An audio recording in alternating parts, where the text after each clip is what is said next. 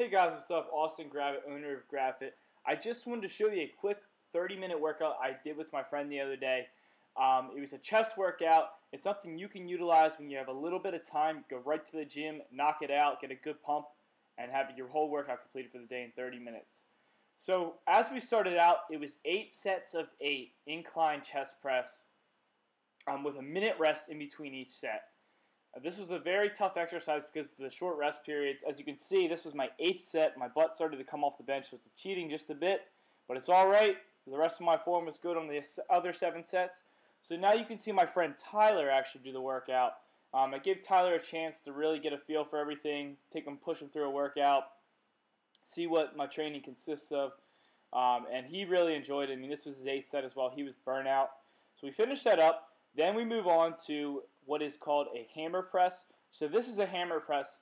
We actually did three sets of 10. Um, and after we completed that third, or excuse me, that 10th rep on the first set, we drop one of the 25s off, and Tyler goes in and does a reverse grip hammer press. So this is going to target more of the lower chest in this motion. This is going to hit his lower pecs, um, really burn out those fibers.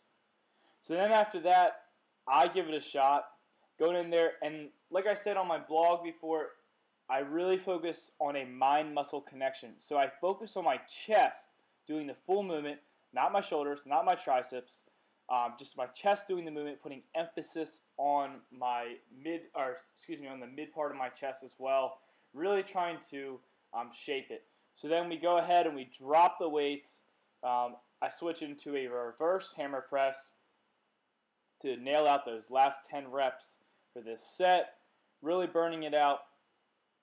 And then our last exercise, actually, I'm getting a little ahead of myself, but our last exercise, we go in and we do what is called, I actually haven't had a name for this, or I don't know what the name for this is, but it's in, you put the bench on an incline and you actually do almost like a diamond push-up. So this is going to target and put emphasis on the midline of your chest, so the center of your chest, and it's going to also target the triceps.